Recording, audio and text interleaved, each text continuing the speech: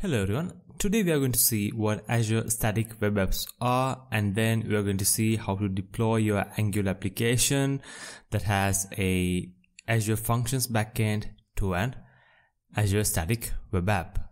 Unlike in Azure App Services, this is a global service that used to host static web content. So basically your HTML, CSS, JavaScript files will be delivered through CDNs. Also this has a first class integrations with source controls like GitHub and Azure DevOps pipeline.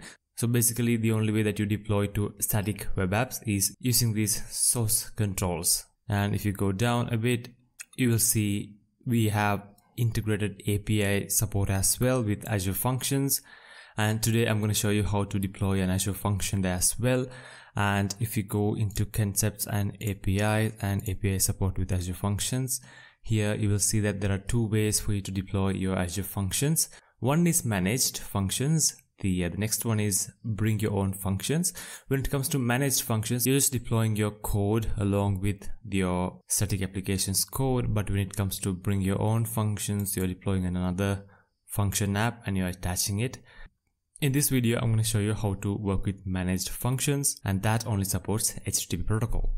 It doesn't support any time triggers or anything like that. And when it comes to support of these runtimes, managed functions only supports Node.js, Python and .NET Core currently. And in this video, I'm going to show you how to work with .NET Core. First, let me create a repository on Git. Um, let me call it.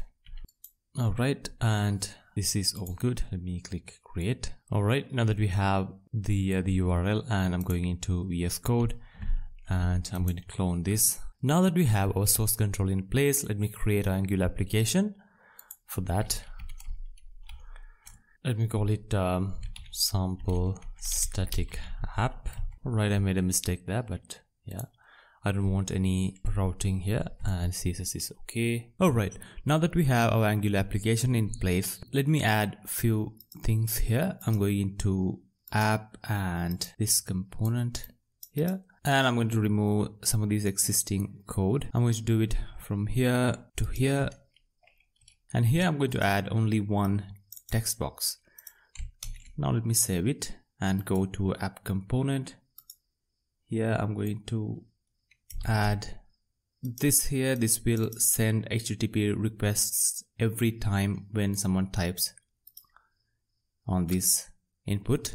And finally let me go to app module. And here i'm going to add http and forms module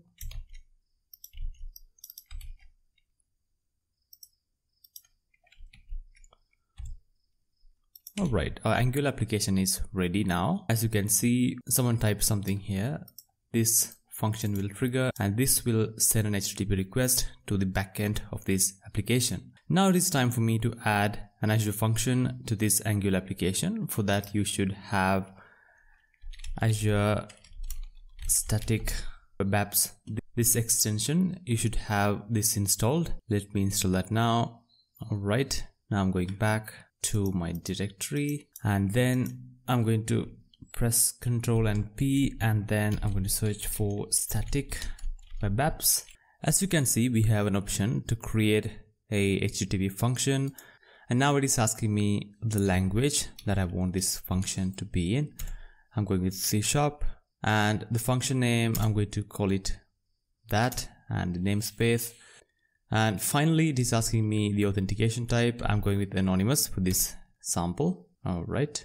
Now, as you can see, we have generated the functions application inside of the main repo. As you can see, I'm not going to change anything here. So basically this function will send you this message every time you call it. So this is good enough for me. Now let me close this. And now our app is ready. Now let me commit this. Alright, now if I go to the repository and refresh this, as you can see we have API and static application as well. And now I'm going into Azure portal and I'm going to create this static web application. For that, I'm going to click create resource here and I'm going to search for static web apps and click create. I need a new resource group as well. And a name. I can just give it any name because this is not a globally unique identifier for this web app. And then hosting plan this is going to be a free one. And if you if you're going with standard one it'll cost you around nine dollars per web application. This is the environment for azure functions api so basically the uh, the static content that you serve with this is globally distributed and here we have the option to integrate with source control. Since i'm using github i can just click sign in. All right. As you can see we have options to select the organization and repository and branch. Let me select those now. All right. That is done. Now we have to provide the build information. Since this is an angular application i'm selecting angular here. And there are a few things that you should insert here correctly. Otherwise the app won't work. For application if you go here this is the application location in this repo. I'm going to provide it here. And then the API location. This is the API location. And finally the output location is usually dist slash the name of our application. Now if you go back to Visual Studio Code and Angular JSON, you can see that here, we copy that and paste it here like this. And as you can see it is giving me a preview of github workflow file. I'm going to review and create. All right now let me click create. Our deployment is complete. Now let me go to the resource and here you will see a url for accessing this here you will see the link to the yml file in my github repo let me click on this i'm going into actions here, as you can see, there's a deployment ongoing. Now let's wait for around one to two minutes and when this deployment is complete, we can go and see how the app works. As you can see, our deployment is complete now. Let me go back to Azure portal. Now let me go to this link here.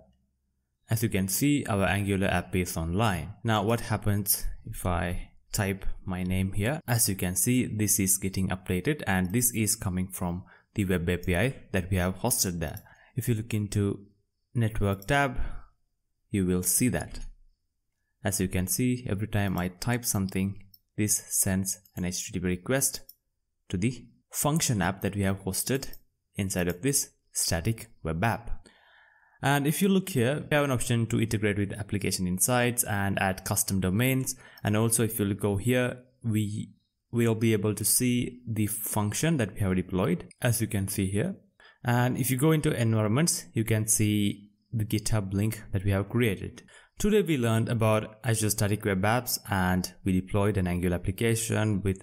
Net azure functions backend. If you have any questions or comments leave them down below. And don't forget to subscribe if you learned something new today and thanks for watching